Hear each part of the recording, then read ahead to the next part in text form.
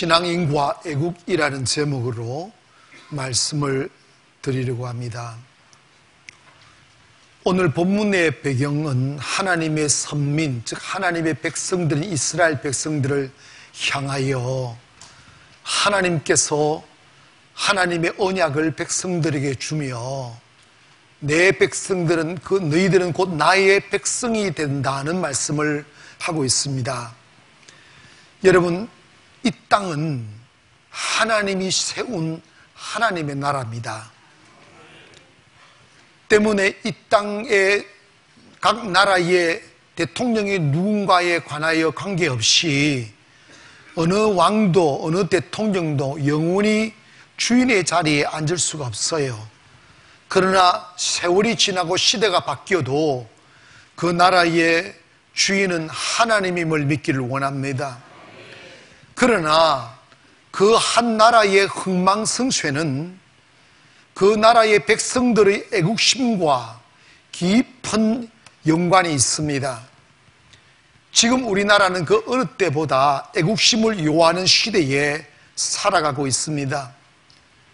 세계 경제가 얼어붙고 있고 우리나라는 직격탄을 맞고 있습니다.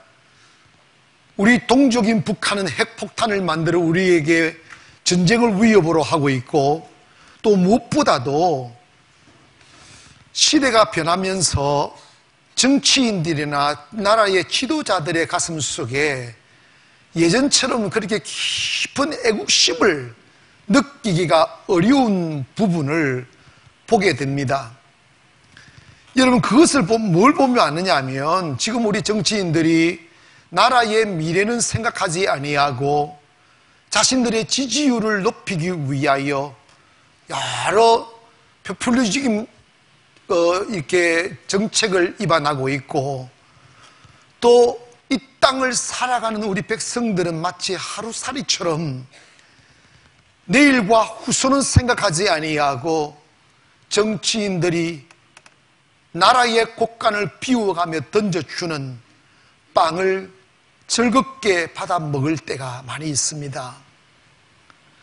제가 3일 전 서울을 다녀왔어요. 난 그거 모르고 있었어요. 가는데 톨게이트가 딱 빠져나가는데 여자 소리가 들렸어요. 결제 금액, 금, 어, 결제 금액은 영원입니다. 갑자기 기분이 좋아지는 거예요. 그러면서 제가 갑자기 생각나는 게, 아, 고속도로 톨비 공짜로구나 하는 생각이 딱 드는 거예요. 잘 사는 나라는 전체 톨게이트가 평소에 다 공짜인데 우리나라는 국가 재정이 그렇지 못하니까 톨게이트를 받는데. 그렇죠 우리 집사람 보고 어 우리 톨게이트 비 공짜네? 우리 어디 가자? 이랬더니 그러면 여자가 아 갑시다. 이러면 되잖아 가기는 어디로 가? 이러는 거요. 꼬리 팍 내려버렸지 뭐. 그 집으로 딱 돌아왔어요. 그런데 제가 왜 이 말씀을 드리느냐 하면 목사인 저도 톨게이트비 영혼입니다. 이에 기분이 좋아지고 목적지도 없으면서 어디 가고 싶은 마음이 드는 거 보면서 야 일반 백성들은 이게 아 공짜 빵 주면 좋아하겠구나 하는 생각이 드는 거예요. 윤리의식이 떨어지는 거죠 이게. 여러분 한 나라가 잘 되려면 백성들이 나라 것이 내 것이고 타인의 것도 내 것이라는 주인 의식이 강하게 있어야 됩니다. 자기 집의 것만 아끼고 남의 것 아끼지 아니하고 나라 것, 공공 것을 아끼지 않는 백성이 많아지면 그 나라는 미래가 없어요. 그 나라의 품격은 땅덩어리가 얼마나 넓냐, 그리고 지하 자원이 얼마나 많으냐, 이게 달려있지 않아요. 그 땅에 살아가는 사람들의 민도의 낮고 높음을 따라 그 나라의 품격이 결정이 됩니다. 여러분 인도는 우리나라보다 땅들이 훨씬 더 넓고 사람들 인구수도 뭐 비교가 안 될 만큼 많지만 제가 인도를 다녀오면서 이렇게 느끼는 게 인도 하면 하, 존경스럽고 막 이렇게 막돈 받고 싶고 가, 가서 살고 싶고 그런 생각이 안 들어요. 그게 왜 그러느냐? 아, 지저분하다. 아, 악한 영들이 너무 많다. 잡신들이 너무 많다. 제가 말을 다 할 수 없어. 그 꼴짝꼴짝 다녀보면요. 너무너무 충격적인 모습들을 너무나 많이 봅니다. 여러분, 정말 예전에 우리나라 대한민국도 조선 땅에 있을 때 여자분들 어떻게 이 자리에 앉아 있어? 예수 믿고 이렇게 된 걸 감사하기를 바랍니다. 여자분들이 감사한 거면 더 많이 해야 된다니까.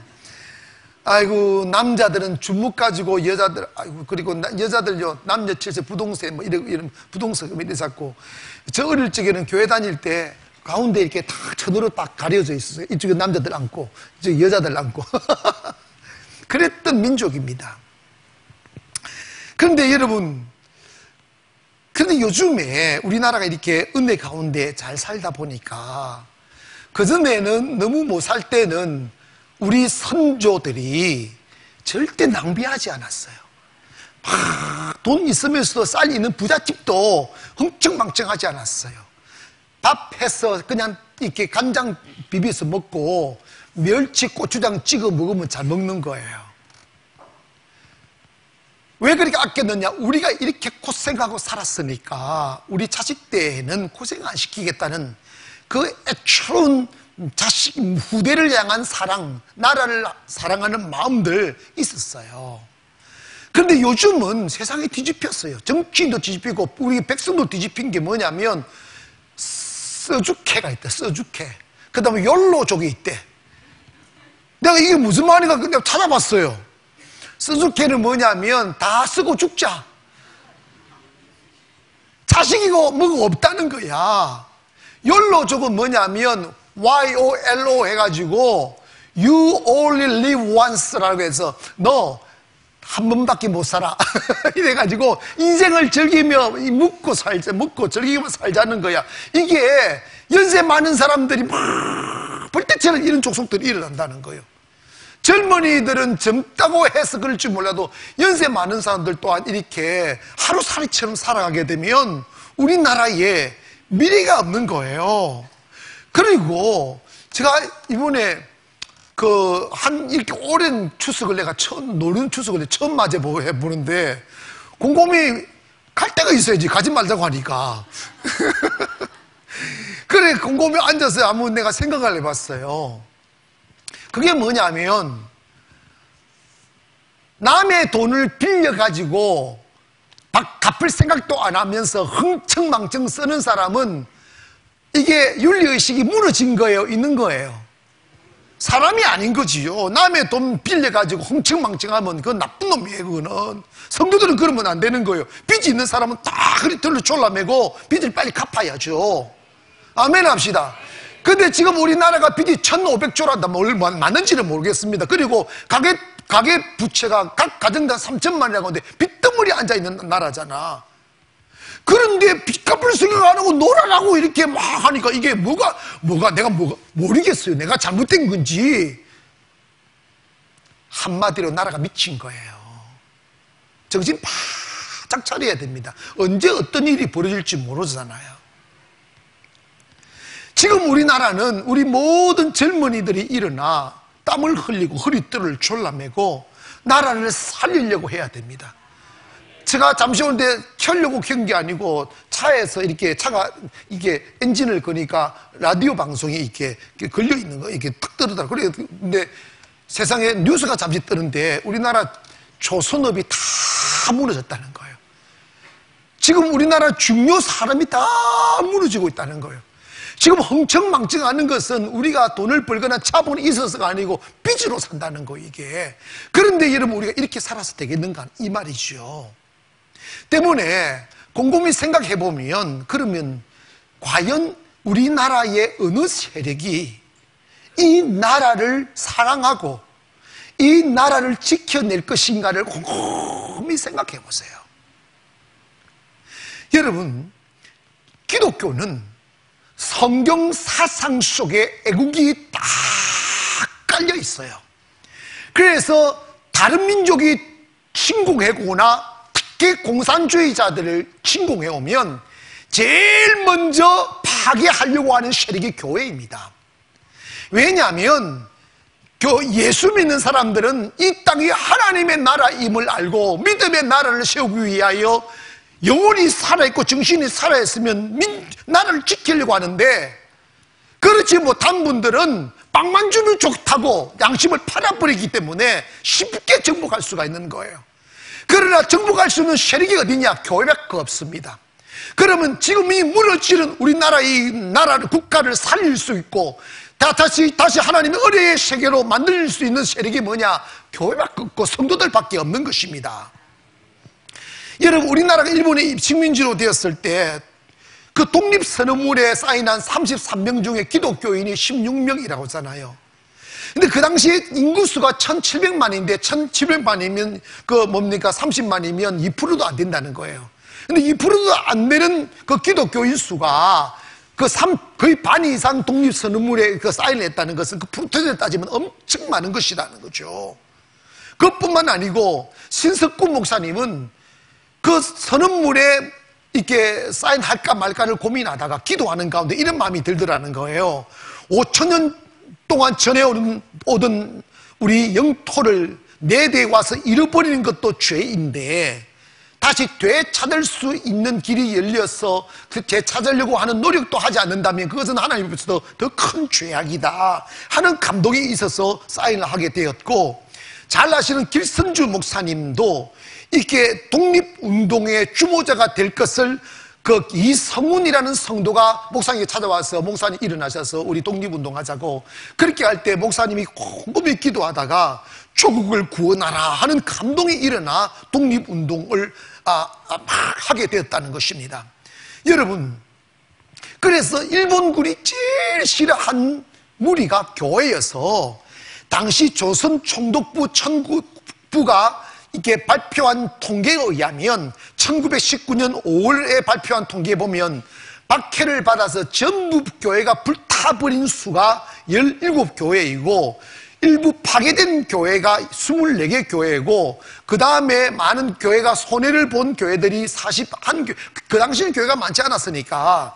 그리고 재산상 손해도 많았고 특별히 1919년 6월 30일에 투옥 날, 기준점으로 투옥된 기독교인의 수가 2190명이나 된다는 거예요 이게 뭐냐면 막 항일 운동하다가 체포되어서 구금된 사람이 2190명이나 된다는 거예요. 근데 그 당시 대부분의 사람들이 유교와 불교를 믿고 있었는데 우리는 기독교 인구보다 훨씬 더 많은 사람이라도 이라도 항일 운동을 하다가 구금된 사람은 다 합해서 1560명 정도밖에 안 된다는. 그럼 기독교인은 아주 수도 적은데도 불구하고 2190명이면 그만큼 기독교인들이 애국심이 강하다는 것을 의미해 주는 것입니다.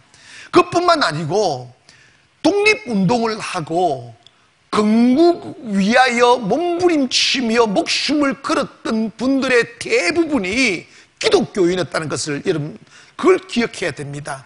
이런 김구 선생님도 이 땅을 하나님의 말씀 중심으로 세우려고 노력한 분이고 이승만 전 대통령도 정말 기도로서 이 나라를 세운 사람이에요. 그 외에도 이름 모를 수많은 독립투사들 그리고 건국계 주도자들이 다 예수 믿는 사람이어서 어느 역사학자는 대한민국은 기독교인이 세운 기독교 국가다라고 역사를 기록하고 있어요. 그게 맞는 이야기예요. 여러분, 그러기 때문에 나라가 중심을 잃어버리고 이렇게 영혼이 사라져 버렸을 때 나라를 사랑하고 재건할 수 있는 그 중심 세력은 어디까지나 우리 성도들이 되어야만 되고 성도들 밖에 없다는 것을 기억하기를 원합니다. 왜냐하면 기독교, 기독교는 이 땅의 나라가 어느 한 대통령의 나라이거나 임금의 나라가 아니라 하나님의 나라이므로 신앙 중심으로 나라를 세워간다는, 가야 된다는 그 사실을 우리는 주지하고 있기 때문입니다. 이 땅의 주인은 하나님입니다. 근데 지금 비극적인 것은 이것이 분명히 우리 기독교인들이 일어난 나라를 다시 잃어버린 나라를 다시 되찾고 많은 눈물과 그리고 생각해 보십시다. 우리나라가 6.25의 이후에 잿더미에서 일어나지 못하고 수많은 아버지들이 가족을 잃어버리고 인생을 포기하고 소주잔 들고 길거리 나자빠 잠자고 미래 없이 죽음을 선택하는 사람들 그래서 길거리는 그림들과 죽음의 시체들이 막 산더미처럼 놓여 있을 때 선교사님들이 미국에서 영국에서 어, 스웨덴에서 몰려와서 이 비극의 땅 이 조선에 복음을 전하고 술병 들고 있는 그 손에 성경책을 안겨주고 내일 없이 비, 비틀거리는 사람들을 향하여 성, 찬송가를요 일하러 가세 일하러 가 아니 찬송 막 일하자고 일하러 가자고 찬송할 만큼 하면서 백성들을 다시 꿈을 주고 땀 흘리게 만들고 허리띠를 졸라매고 산업을 일으킨 주도 세력이 누구냐? 기독교인들이었어요 여러분 그리고 여러분이 세계 지도를 딱 펴놓고 유심히 한번 보세요. 딱 발견되는 게 있어요. 그게 뭐냐면 예수님을 믿고 기독교를 받아들인 국가들은 다 선진국이고 잘 살고 존경받는 나라가 되었지만 그만하고 하나님을 믿자고 우상을 섬기는 나라들은 다 가난하고 후진국을 면치 못하고 있어요. 우리나라만 해도 마찬가지입니다. 우리나라가 한때 평양이 동방의 예루살렘이라고 말할 만큼 많은 교회들이 성황했었는데 천황 숭배를 각일한 그 일로 인하여 하나님이 그 땅을 버리고 그 땅이 공산당 공산주의 땅이 돼버리고 똑같은 동족 똑같은 땅덩어리 들어보니까 남한보다 북한이 지하 자원이 훨씬 더 많대요. 아멘 합시다.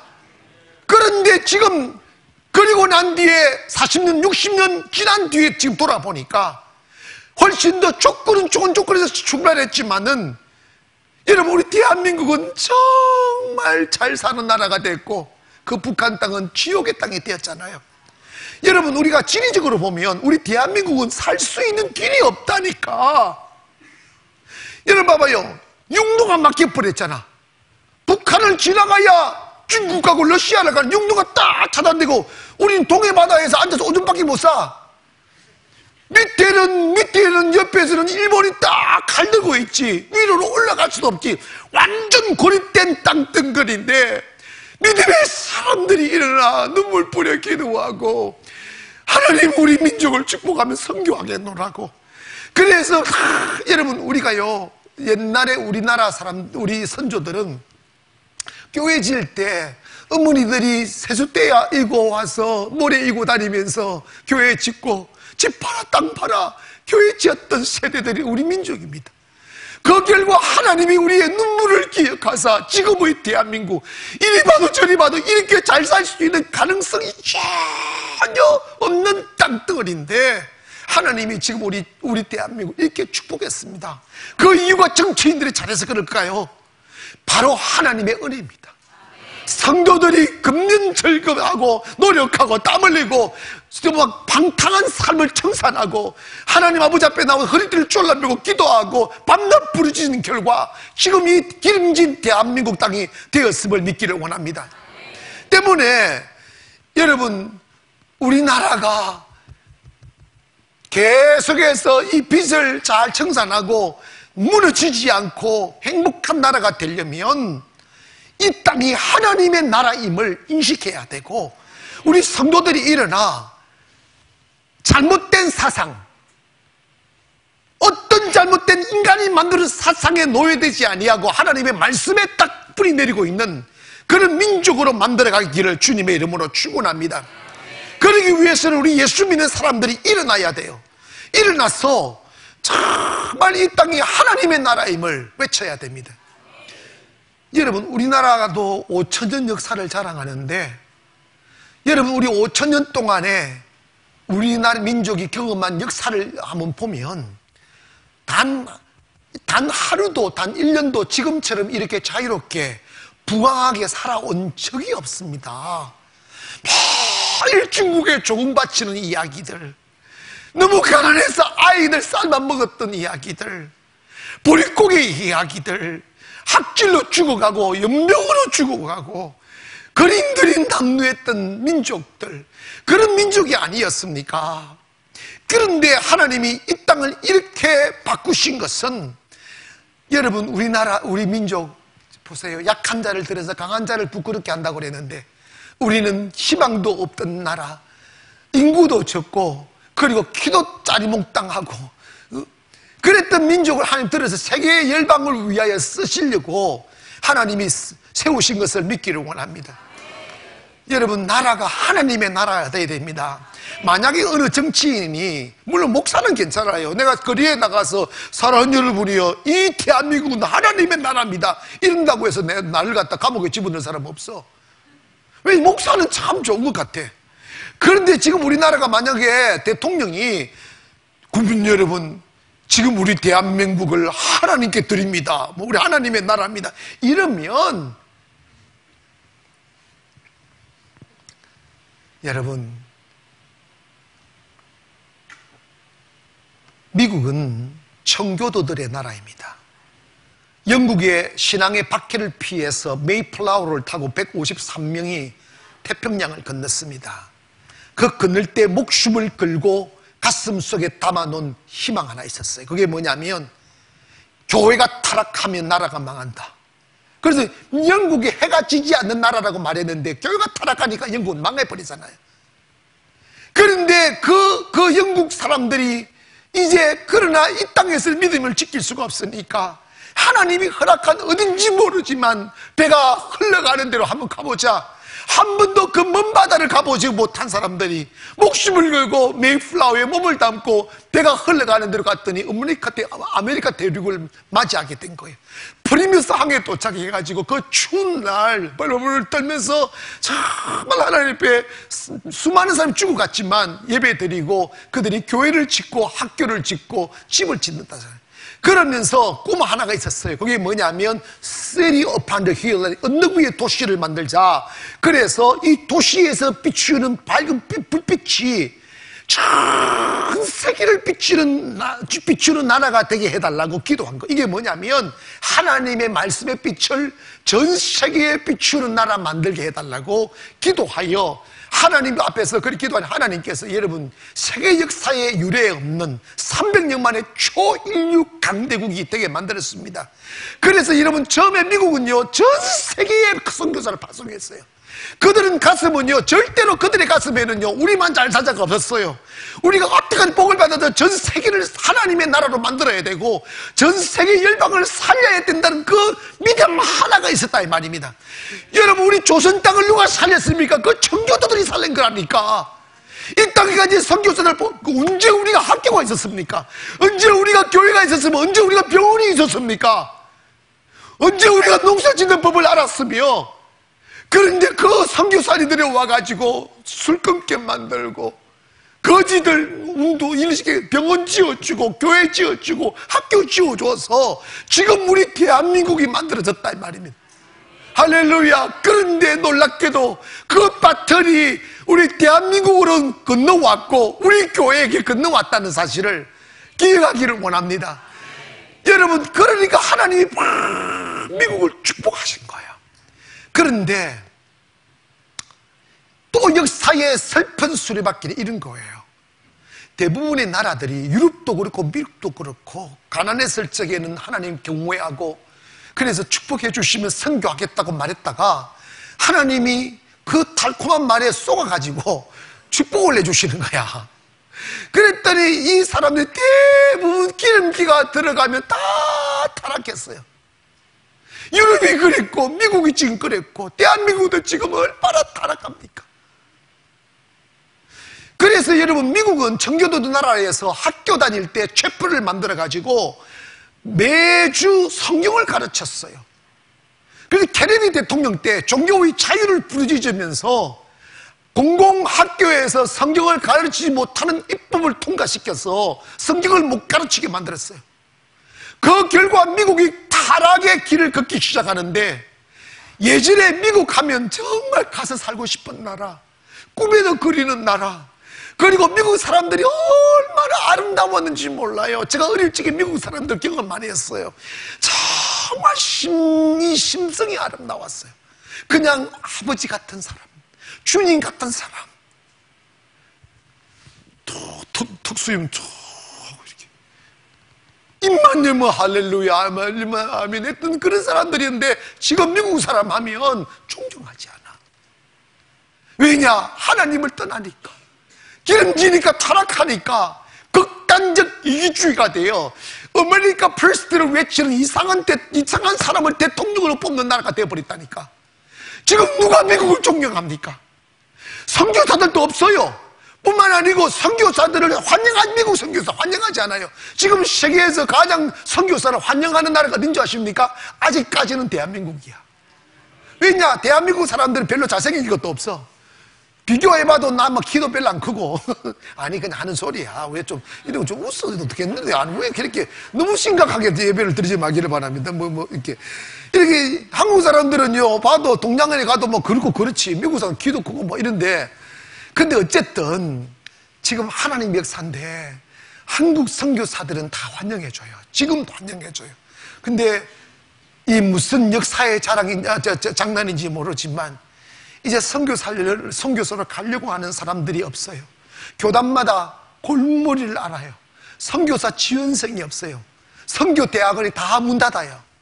다 문 닫는 시대가 됐습니다. 그래서 제가 그 시대를 읽은 거예요. 그래서 필리핀 아이들을 길러서 그 친구들 선교사를 보내야 된다. 그 생각, 뭐 돈은 우리가 줄지라도. 그러게. 어쨌든 간에, 사는 여러분, 우리 대한민국이 하나님의 나라가 되도록 애국심을 가지고 나가기를 원하며 성도는 어떻게 하든지 간에 이 땅이 그 어떤 권력자가 지배하고 어떤 돈이 지배하는 나라가 아니라 하나님의 말씀으로 세워가는 나라 되게 하기 위하여 이 나라가 하나님의 나라입니다 하는 그래서 여러분 대한민국의 땅덩어리가 인구수가 적어도 백성의 민도가 높아지면 아 한국 사람들은 정직한 사람들이다. 한국 사람들은 정의로운 사람들이다 한국 사람들은 믿음이 좋은 사람이다. 하나님을 경외하는 민족이다. 이것만 딱 심어주면요. 나라는 강대국 됩니다. 할렐루야. 절대로 무기 좋다고 강대국 되는 게 아니에요. 세계 그 어느 역사도 무기로서 세상을 정복한 나라는 없어요. 성경은 말씀하셨습니다. 칼로 서면 칼로 망한다는 거예요. 김정은이 지목숨 단축하는 거예요. 여러분, 나라의 부강, 흥망성쇠는 그 민족의 도덕성과 믿음과 그 의식에 달려져 있습니다. 여러분, 우리나라가 바뀌어야 돼요. 뭐냐 하면, 욜로족 없어져야 됩니다. 아멘 합시다. 써다에 없어져야 됩니다. 아멘. 그리고, 지금요, 우리 한국교회도 도덕적 회의가 얼마나 왔는지 아십니까? 목사님들이 이런 이야기 합니다. 그저, 교회가 나라를 이끌어가는 주도 세력입니다. 이 교회는 정치의 권력을 얻기 위한 주도색이 아니고 민족과 백성들의 정신을 지켜가는 주도 세력이란 말입니다. 아멘 합시다.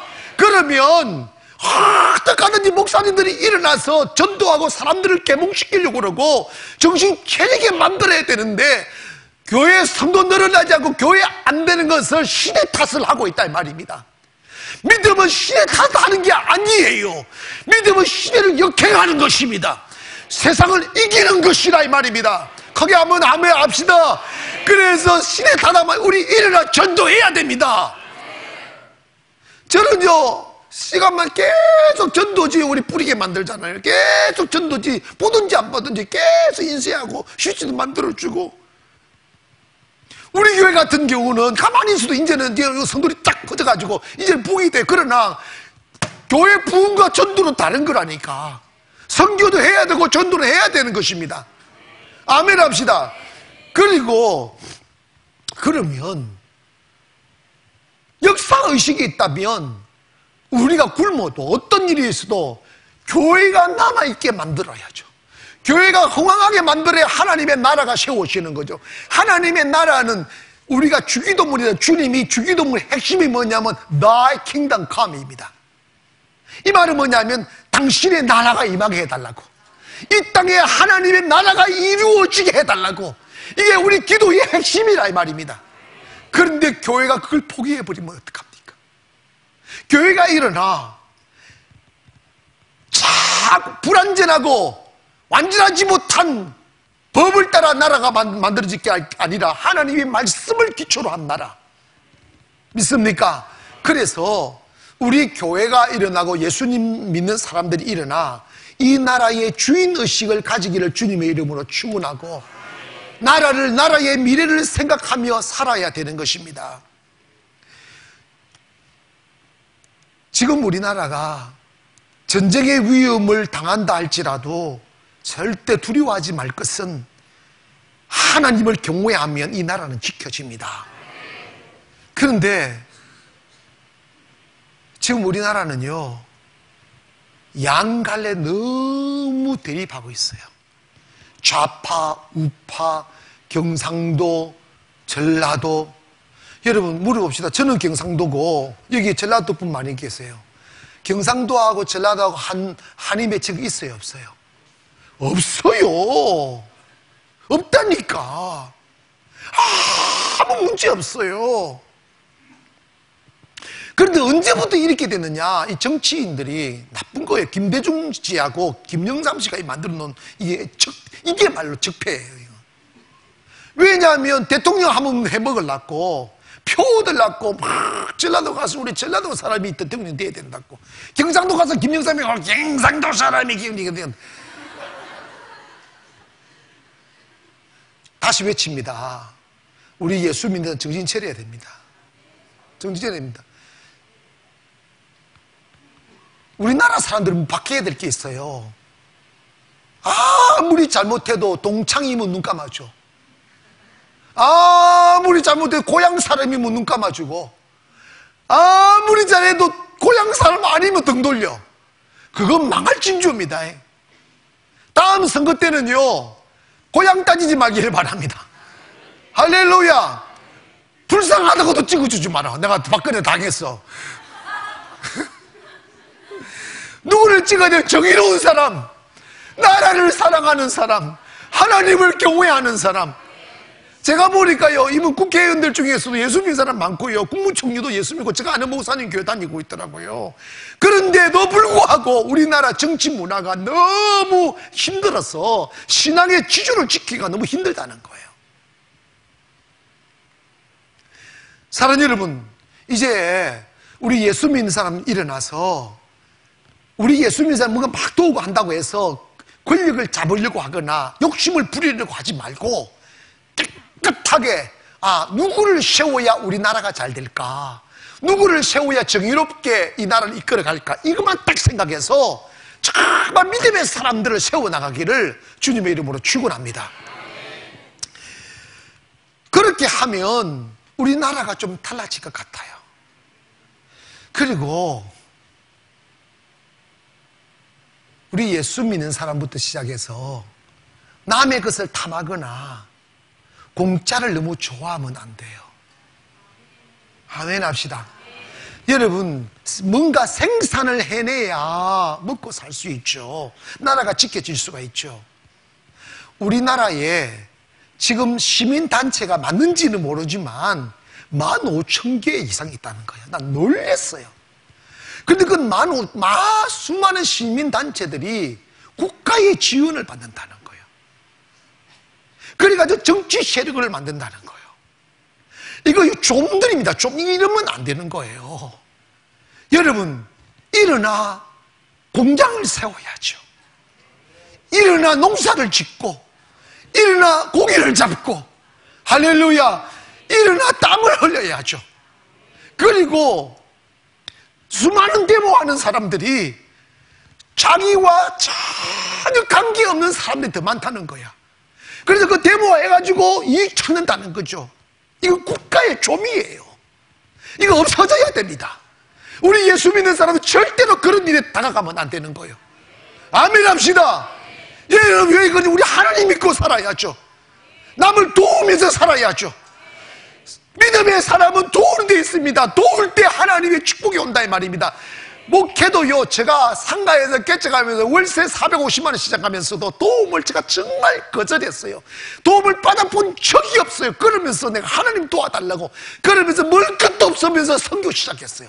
그러니까 하나님이 우리 교회를 살려주시는 거예요. 하나님은 돕는 자를 축복하심을 믿기를 원합니다. 때문에 여러분, 우리 그리스도인들은 이 땅이 하나님의 나라가 되기를 위하여 기도해야 돼요. 이 백성들이 정의롭고 하나님을 경외하는 백성되게 해달라고. 공짜 바라지 아니하고. 아멘 합시다.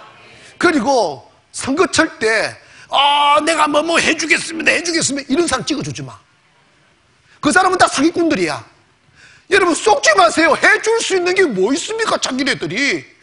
자기 세금 가지고 세금 가지고 국가를 운영한다면 세금을 정의롭게 관리하겠습니다. 이래야지 아멘 합시다. 어떤 사람은 여러분 애 많이 도 내가 애 다 키워 주겠으면 이러더라고. 아니 어떻게 자기 애 어떻게 애를 엄마가 키우지? 그런 쓸데없는 소리 좀 하지 말라 이 말이에요. 그래서 우리 백성들도 민도가 높아져서 아 저거 사기성이구나 저거 정의롭지 못하구나 인기 끌려고 하는 발언이구나 그는 이러면 걸러내야 되는 거예요 왜냐하면 우리만 살 땅이 아니잖아요 우리 후손이 살아야 되고 우리 후대가 행복하게 살아야 되잖아요. 아멘 하세요. 만약 지금 우리 흥청망청하다가 여러분 자녀들이 거지 돼서 어? 모라토리움 선언되고 전기불 꺼지고 수도불 단수, 단수되고 아, 그 높은 엘리베이터 32층까지 걸어 올라다녀봐. 어떻게 하겠냐고. 화장실 물, 물, 물못 내리고 지옥된다니까. 그런 날이 없을 거라고요. 하루아침에 올 수 있어요. 정신 바짝 차려야 됩니다. 누가 이 나라를 사랑할 수 있습니까? 정치인도 어떤 이도 아닙니다. 예수 믿는 사람들이어야만 합니다. 이 나라가 하나님의 나라이기 때문입니다. 그러기 위해서는 결론적으로 하나님의 말씀으로 이 나라를 세워야 돼요. 요즘 뭐 개헌 이야기를 하는데 여론에 의하면 85% 이상이 개헌하자고 정치인은 68%인다고 그러는데 개헌을 왜 합니까? 개헌을 하는 것은 법이 잘못됐다고 인식하기 때문인 거죠. 사람이 만드는 법은 완전하지 않아요. 다 이익단체들이 자기의 이익을 대변하기 위해 만드는 법들이 너무 많습니다. 입법 로비다라는 게 있어요. 그런데 여러분 봐보십시다. 인간의 법은요, 완전하지 않아요. 소크라테스가 악법도 법이라고 하잖아. 여러분, 그러나 놀라운 것 하나가 있어요. 하나님의 말씀은 정확무오합니다. 시대가 바뀌어도 말씀은 완전합니다. 할래 역사가 바뀌어도 말씀은 완전합니다. 그렇기 때문에 이 나라가 행복하고 이 나라가 완전하려면 우리 백성들이 하나님의 말씀에다가 기초하여 나라를 세워가야 됩니다. 여러분 생각해 봐요. 민법이 있고 형법이 있다 할지라도 아무리 처벌을 강화한들 죄가 없어집니까? 죄는 벌, 벌을 많이 준다고 바뀌는 없어지는 게 아니에요. 사람의 마음이 바뀌어야 돼요. 심령이 바뀌어야 돼요. 여러분이 이 땅에 하나님의 말씀을 지키기 시작하면 형법이 필요할까요? 민법이 필요할까요? 하나님의 말씀을 놓으라고 합니다. 하나님의 말씀이 법이에요. 하나님의 말씀으로 돌아가면 이 세상은 천국같이 바뀝니다. 이해가시면 아멘 합시다. 그래서 여러분의 아이들을 우리나라의 미래를 생각한다면 예전에 비해서 지금 아이들은 훨씬 더 좋은 옷 입고 좋은 음식 먹고 좋은 집에 살아요. 그런데 행복하냐 물어보면 행복하다 말하지 않아요. 정의롭냐 아름다운 가슴을 지니느냐 그렇지 않아요. 요즘 어른들이 두려워하는 일이 뭡니까? 청소년들의 흉악범입니다. 근데 누가 그 아이들을 만들어내었느냐 이 말입니다. 누가 유해 장난 프로그램을 만들었느냐 이 말입니다. 어른들이 다 만든 거예요. 어른들이 아이를 죽이는 거예요. 그리고 예수 믿는 사람들도 성적 올린다고 주일날도 학원 보내고 교회 안 보내는 정신 나간 사람들이 있다니까. 여러분 기억하세요. 사람은 지식이 많아서 훌륭해지는 게 아니에요. 지식 많다고 인격이 더 아름다워지는 게 아니라니까. 잠언 22장 6절에 마땅히 지킬 것을 어린 아이에게 가르치라. 그리하면 늙어도 그것을 떠나지 아니할 것이다. 누가 어두운 밤 아이들의 마음을 지켜줄 수 있습니까? 누가 화려한 불빛의 유혹 속에 어린 아이들을 지켜낼 수 있습니까? 부모도 선생도 그 어떤 누구도 아니라 하나님의 말씀임을 믿기를 원합니다. 청년이 무엇으로 자신의 행실을 깨끗게 하리요? 오직 하나님의 말씀으로 삼갈지니라. 그래서 어린 아이에게 너는 이 하나님의 말씀을 이마에 새기며 손목에 매며 가슴발에 새기라고 그러잖아요. 이게 뭐냐면 하나님의 말씀이 가슴에 있는 사람은 정의롭게 살아갈 수 있어요. 아멘 합시다. 하나님의 말씀이 있는 사람은 아름답게 살아갈 수가 있어요. 그 말씀만이 나의 정욕을 이겨내고 욕심을 이겨내고 이심을 이겨내고 탐욕을 이겨낼 수 있어요. 사랑하는 성도 여러분이요. 이 땅의 백성들이 하나님께로 돌아오도록 기도하기를 원합니다.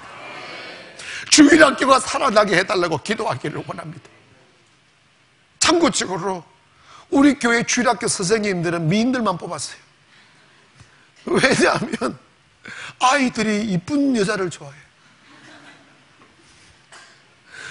아니에요. 정말입니다. 우리, 우리 손주가 있잖아. 내가 웃자다가 뭐, 그, 이놈이요. 우리 근사님들이 오라면 싫어한다? 그런데 우리 청년, 여자 청년들이 오라면 쪼가지고, 볼래? 눈을 탁, 아, 조그만 눈에서도 이런다니까, 이게. 어, 우스기 소리를 그러고, 어쨌든, 정말 믿음 좋은 사람들 다 세워놨어요. 그래서 이 선생님들이 보수도 없이 어린아이들에게 희망을 주라고, 꿈을 주라고. 사는 성도 여러분, 무너져가는 대한민국, 법으로도 안 되고, 칼과 창으로도 안 됩니다. 이 나라가 다시 회복되는 길은 우리 백성들이 잠에서 깨어나야 돼요. 깨어나려면 하나님의 말씀으로 돌아가야 되는데, 누가 이 무너지는 이 대한민국의 중심 세력이 되어야 됩니까? 바로 기독교인들이야만 합니다. 우리 예수 믿는 사람들이 국가의 중심 세력이 되어야 됩니다. 제가 대통령이 되라 이런 의미가 아니다. 그리고 조금 조금 빗나간 이야기지만 우리 예수 믿는 사람들은 정치인들을 도와도 거기에 콩꿈을 얻어먹으려고 하면 안 돼요. 그 사람들을 도우는 이유는 당신이 정의롭게 생각되니까 나라 잘 섬기라고 하는 것이 뭐 그것을 끝내라. 아멘 합시다. 더 나아가서 한국 교회가 정진데 우리 우리 성도님들 돈 벌면 저한테 돈 좀 가져오셔요. 내가 만들 테니까. 여러분 모든 것이 법은 사람이 집행하는데 사람이 정의로워야 돼요. 아멘 합시다. 사람의 양심이 정의로워야 되는데 대부분 고시 공부하면 어디 가서 공부하는 줄 아십니까? 지금 여러분 소리를 뭐 해버리세요. 괜찮아요. 절에서 간다는 절. 왜 그랬습니까? 거기는 공짜로 먹여주고 공부할 수 있는 분위기, 물론 환경도 좋으니까 그렇겠죠. 그러니까 당연히 불교 쪽으로 진리가 없는 거예요. 왜 교회가 일어나 사람을 키우지 않습니까? 왜 교회가 일어나 공부할 수 있는 그 공간 못 만들어 주느냐 이 말입니다. 이게 미래를 못 보기 때문에 그런 거예요. 오늘 우리 교회가 그거 할 수 있었으면 원합니다. 나, 내 성교 끝나고 난데 할 겁니다. 두고 보세요. 그래서 공짜로 와서 공부하고 먹고 판사 되고 검사 되고 그러면 예수 믿는 사람은 어, 제가 보니까요 날라리 같이 믿어도 그래도 교회 가는 사람이다. 왜냐하면 설교는 들으면 찔리기를 하잖아. 왜 아멘 안 합니까? 그런데 이 교회 안 나오는 사람은 찔리는 것도 없어. 죄를 욕심으로 지는다니까. 우리 사업하시는 분들 빨리 돈벌이 가져오세요. 그 뭐야 공부할 수 있는 그 뭐라고 하는 고시원 지어주게. 공짜로 전올 공짜. 그 대신 매일 성경 보고 예배가 예배 나오고 교회 바로 옆에다 지어놔야 돼. 아니요.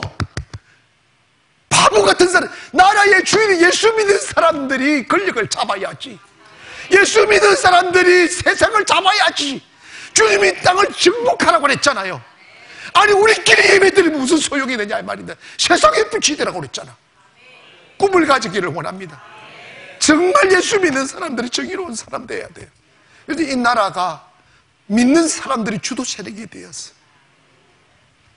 나라를 사랑하고 이 나라가 하나님을 경외하고 국가 경제가 살아나고 그리고 국가의 민도가 높아져야 선교사들이 파송될 수 있어요.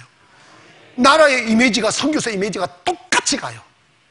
아멘 합시다. 그래서 여러분 저와 여러분이 함께 이 나라를 사랑하는 애국하는 백성들 되기를 바래서 이 말씀을 드렸습니다.